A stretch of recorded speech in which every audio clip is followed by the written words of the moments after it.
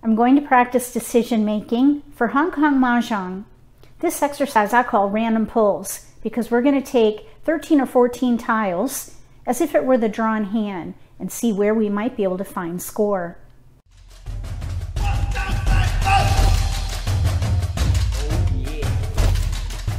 If you're new to Mahjong or if you already know how to play and just want to build your skills, consider subscribing to my channel. That way you won't miss anything. We're going to roll the dice to see which seat we're in. I rolled a four. So that means we're going to be in north seat for this exercise. North seat, east round.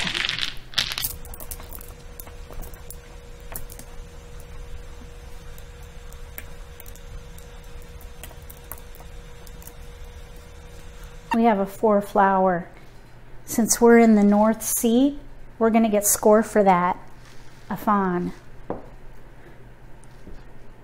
Oh, we got another flower, a three flower. We're not going to get score for that one because that's not our seat. All right, so what we have here, three cracks, three bams, three dots, and single honors. We do have two pair though. We do have our own flower. If we play all pung and then our flower, that would be four fawn. Now, usually with all pung, you want to have four pairs. So we're really shy on our pairs. I think what I would probably do is keep the five cracks, discard these first, see if we can do dots with honors because half flush is three fawn. If we pair up, we could of course switch to all pung. So I think I would hold the five crack, discard these first, and see what happens.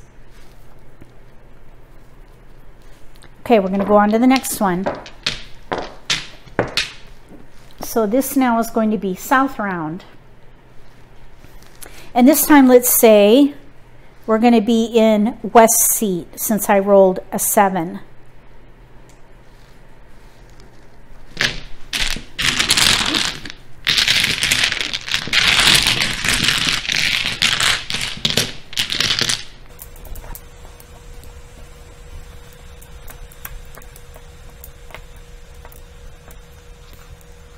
Okay, for this one, I would try for a half flush with cracks. Get rid of these right here. We have two potential chows. Chow is three in a sequence. We have a pair. Any pair is a potential pung. So we have one, two, three blocks. We need four blocks and a pair. So we would need to pair these up or draw in more cracks. But I would go for a half flush here. Since it is the south round and we have a pair of south, we could get score for that if we pung it. So I would try to pung that. If a discard goes down, I would claim it and pung to make that a pung because we would get a fawn for that. Right now we have no flowers. That is a fawn also. So half flush, pung of the wind of the round, and no flowers that would be three, four, five fawn.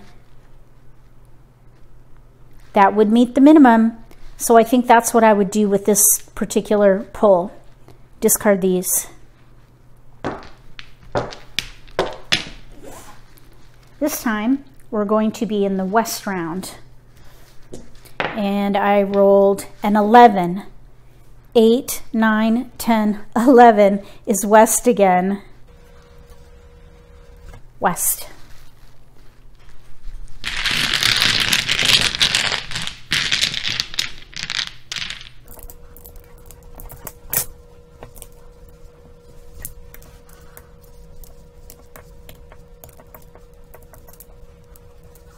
This is going to be a rough go right here.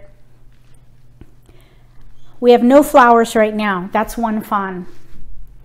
Then we have a mixture five cracks, four bams, three dots, one honor. It's the west round. We're in west seat. I think what I would probably do discard dots first. See which suit comes in, because we only have one more crack than we do BAMs. And here we have a potential chow, potential chow, potential chow, potential pung. So I would discard these first, see which one we draw, and go with that suit. More likely than not, it would be a half flush, uh, one suit with winds and dragons. This is going to be a long shot here because we have those mixed suits. You might say, well, why not just play all chow? So for example, we would even have a nearly set hand for chows. Six, seven, five, seven, eight, nine, eight, nine, pair sixes. One, two, three, four, five blocks. You need five blocks.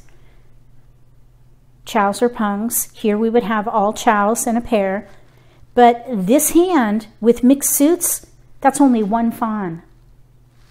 No flowers is one fawn. That's two fawn. We got to come up with another fawn somewhere, and that's impossible when you mix chows with different suits. That's why I would get rid of this. Hold this in case BAMs come in, but focus on cracks and honors. Because a half flush is three fawn.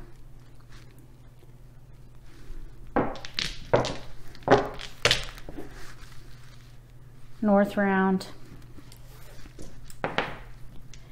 I rolled a nine. That would be west.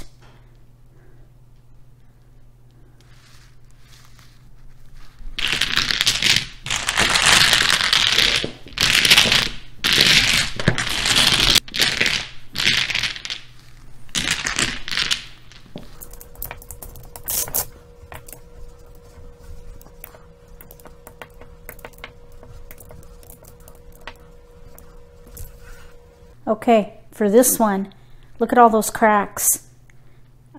I would probably, first let's do this, two flower. We're in west seat, so that's not gonna bring us any score, but we get a replacement, two bam. I was hoping for a crack. I would probably hold the two, two dot here and focus on cracks, but hold this just in case we pair up more. Because right now we have a pair here and a pair here. You can mix suits with pungs, because all pung, all three of a kind, is three fawn. So I would hold this, but focus on cracks. Here we have a potential chow, potential chow, and there's a chow right there.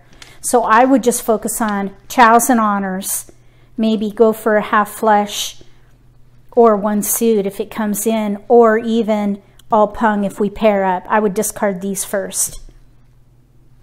These random pulls are a great way to practice finding a starting point for your drawn hand. When you play with people though, or even online, you've got to be aware of what happens at the table. The exposures, the discards, how far you are into the game as far as tiles left in the wall for picking, all those variables can change your plans. So always be aware of what goes on at the table, but find a starting point as strong as possible based on your drawn tiles. If you like this video, give me a thumbs up. If you haven't subscribed to my channel, consider subscribing. Click that little gray bell if you do. That way you'll get notification for when I post new videos and you won't miss an opportunity to learn a new strategy or pick up an insight to the game that could give you an advantage at the table. Between now and the next set of random pulls for Hong Kong Mahjong, may all your picks be keepers.